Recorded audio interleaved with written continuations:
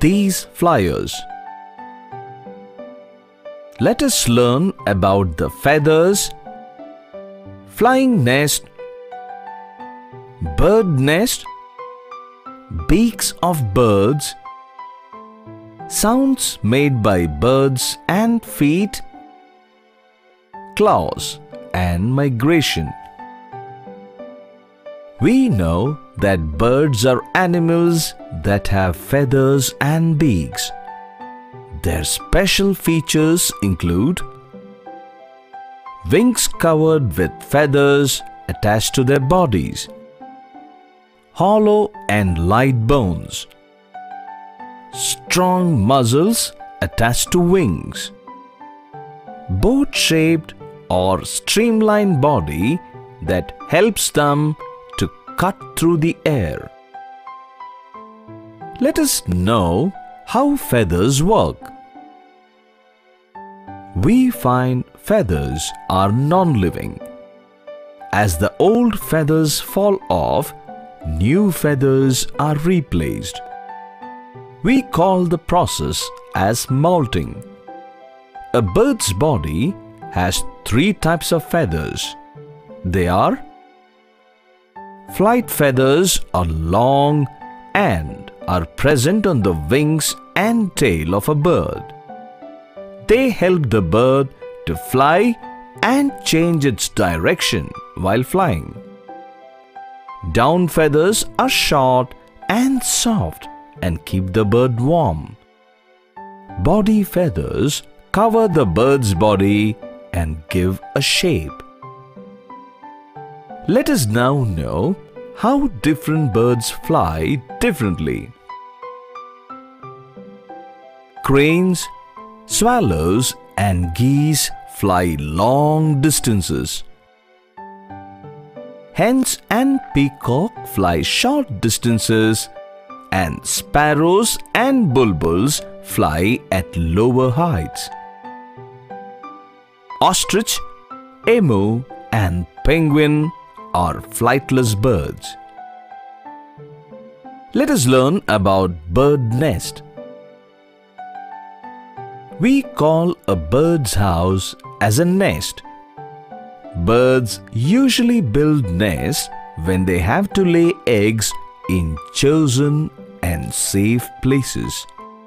They use grass, cloth, stones, twigs, etc. to build their nest we find eagles and vultures making crude nests using twigs on treetops. We find bulbuls making cup-shaped nests in hedges and bushes. We find tailor bird sieving leaves with its beak and makes a nest. We find weaver bird making a nest from the grass. We find woodpecker making a hole in the tree trunk.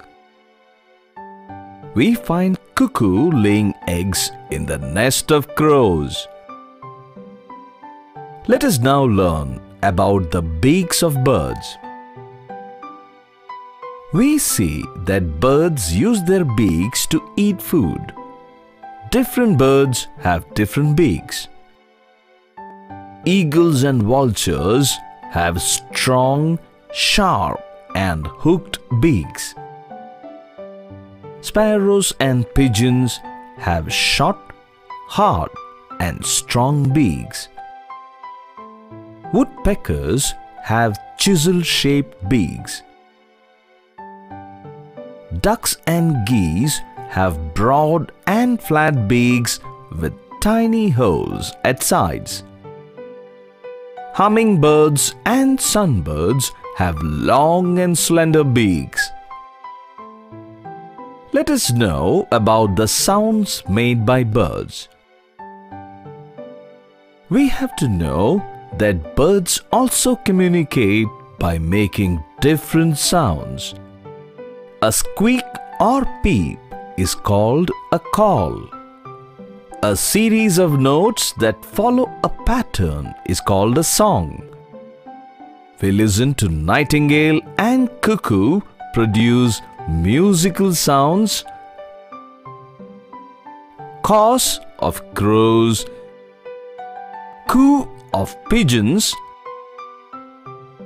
cluck of hens, and quack of ducks. Parrots and mynas imitate human sounds.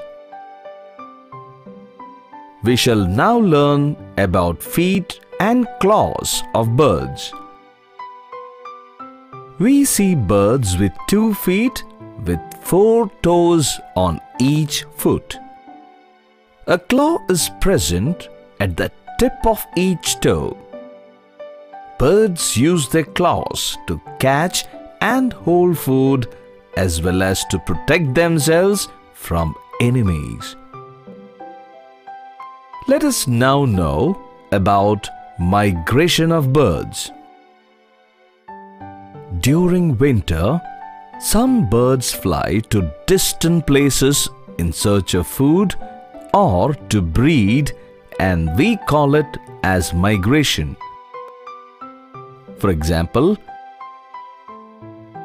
Arctic tern and Siberian crane.